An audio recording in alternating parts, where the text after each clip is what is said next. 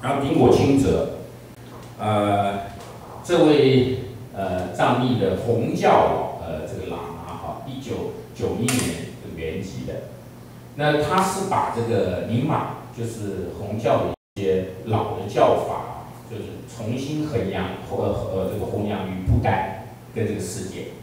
那他呃大概的这个呃这个这个来来历这边有大概的介绍啊。他呃当时他是想是归隐的，但他老师不让他归隐，然后他也听他老师的话，然后就开始呃传布藏密。然后呢，在不丹他成为最被尊敬的，然后后来成为达赖喇嘛的老师啊。达赖喇嘛是黄教啊，他是呃很多事上传统上也都是从红教里面找老师哈。那他非常强调修持与日常生活合而为一啊。事实上，任何的佛教或者宗教不讲这个东西，事实上呃应该就不是正法啊。就是说，一定要讲你生活跟你的这个修持要合一。那我们知道，在一九呃大概大概大概十年前吧，呃那个时候呃真理与哲学家啊啊是畅销书嘛啊。那个时候写的作者是一个叫马修里卡德。他是一个呃法国很有名的政论家的小孩子，然后他是一直念科学，他念了博士，然后有呃当时甚至人家认为他可能会进入生物科学领域拿到诺贝尔奖，哎，结果他突然决定上山，跟跟这个跟这个藏密去修行去了，然后呢呃消失了大概二十年，然后回去跟他爸爸对谈，这个对谈录就变成真理与。哲学家，哲学家就是他爸爸啊，就是法国非常有名的这个呃政论家，然后真理就他自己啊。那那他呢，呃，写完这本书之后呢，事实上，呃，被达赖喇嘛派到美国去啊，跟呃美国的一些学校做实验，呃，University of Wisconsin 啊这些对他对脑波做这些实验啊，他他所以对这个人类的科学进展还是有贡献，只是这个角度不太一样啊。所以这个这个就是这个。马修里卡德，马修里卡德他的老师就是苹果清泽，啊，那当然这个赖声川与丁乃竺夫妇也是拜这个呃这个师傅的，啊，那他是一九九九一年圆寂的，所以他们基本上这个藏密都是呃，我当时进去的时候也是尼玛，也是红教啊，也是这个莲花生大师啊做我们的本尊啊，所以有这个莲花生大师咒啊这些都要学。这个吴日江老师呢是广东人，那他的传承是从这个西康的这个呃诺纳主持来的。那诺纳跟这个汉人很有缘啊。那当时呢，呃，他是在这个呃从从这个藏呃这个东藏的地方到这个中原来传法，然后当时有很多的这个国民党的党政要员，好像听说包括戴季陶都跟他学，那。那当然，我们的吴润章吴老师呢，那个时候也是也是年轻人嘛，啊，然后刚进入党务，然后他就诶，跟他以后就就决定不走这个政治的路线，而走这个呃这个这个传法的路线，然后他就开始闭门修这些呃莲花生呃大师法啊这些，然后呃到后来就呃大陆一九四九年之后呢，他就到香港，然后呃从香港的传法，然后到台湾来了很多次啊。那主要呃很多次都到清华大学，那我自己是清华毕业的啊，所以基本上跟他这个缘分是从那边建起来的。那他的内容啊，他教法的内容是一心三观、六根归元这些啊。一心三观里面呢，这个事实上是天台宗的说法啊，里面有假观、空观、中观这些东西。那呃有哪些学生呢？我就讲这个南京这个诺纳金色这个智敏跟绘画。梁志崇，也就是梁梁乃崇老师，是清华物理系的老师。王守义也是清华物理系老师。当时这个李世成李校长做这个手指试字以及这些器的东西哈，事实上他们两位也都有参与。啊，那当然还有陈国正老师，陈国正老师也是我们的理事长啊，在做过我们的理事长。然后于继平老师，我是进这个门派是经过于继平老师，是派，现在他是清华核工原子科学院的院长。那陈国珍老师当然，呃，长期跟我们都有缘分啊，那呃呃，经常会给我们做演讲，那他现在还在教这个中医的这这方面，所以这些人都是跟这个华藏上师有关的。那陈国珍老师很有意思的是，在华藏圆寂之后跟他有缘，他是从病中跟他交往，所以这这是这种事情，你在这个领域久了，你就听很多的可思议的事。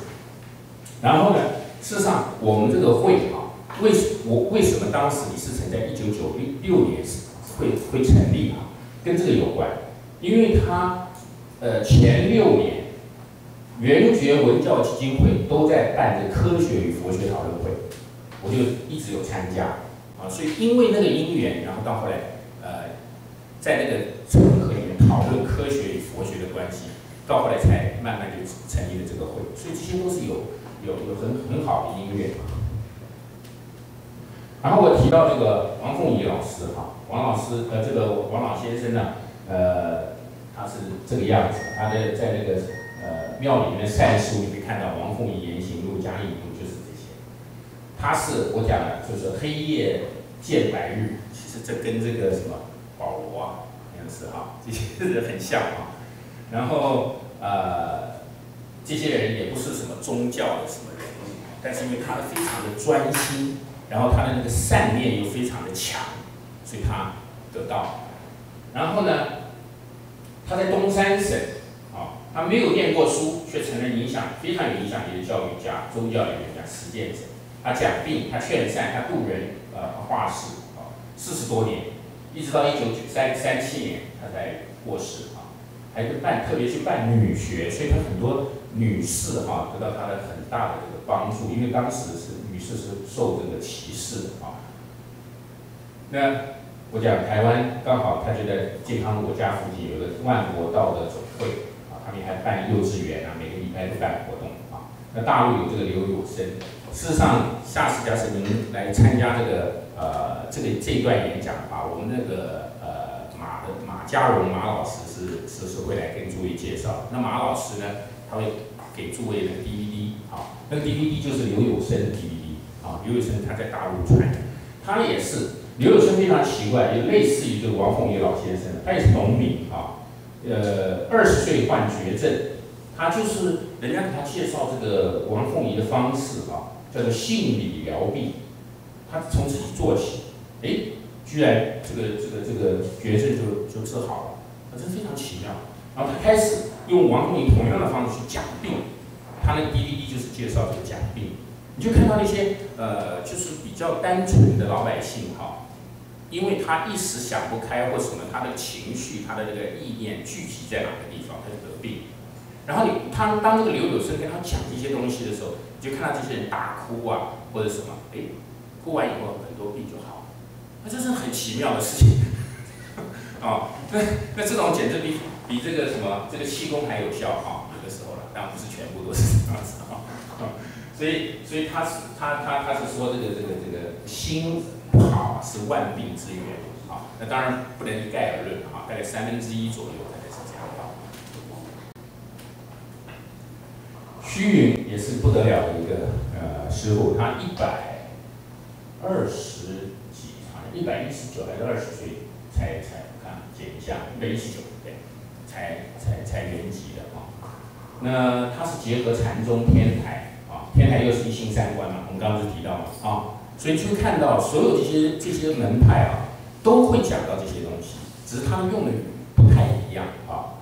那假使你呃了解这个宗教跟门派，了解到这个这个这个这个这个这个地方的话，你就会对这个外面宗教的什么冲突啊，你就一笑置之啊，甚至就是不屑一顾啊。那当然呃，这个这个呃一般的这个宗教往往说它很独呃很独特的啊，它是唯一啦，或讲这些东西。市场去看多了这些东西哈，真的是呃，可能要笑笑一下就是了啊，不要太严肃有关这些说法。他是以禅宗入门，天台宗进阶的啊，因为他在这个在山上修这些东西，修的受苦无禅，然后呢，呃，好像也没有什么呃，真的什么这个这个成就啊。有一个好像呃善知识就点他说，你应该去找这个天台宗的这个呃。这个这个荣净法师不应该在这边这个什么做苦禅，不要一直在这边做死禅，这个基本上你你把这个呃做禅当做是一个这个呃你这个呃是注意的事情，那其他事上你不会去做人啊这些，所以他他他去跟天台的师傅学了以后，哎，慢慢慢慢自己的心境有一些转变啊，做一些开始哎就有些很就是说特别的事情发生。那当然到了这个呃二十世纪，然后经过这么多战争哈，那他也都是这个非常的这个呃这个就是很注重戒律啊这些，那终于在这个这个一九四九年之后啊，他受到一个很大的打击哈，那这个叫做云门事件，那这个书上也都有，这基本上就呃遭池鱼之殃了啊，那很多的这个呃。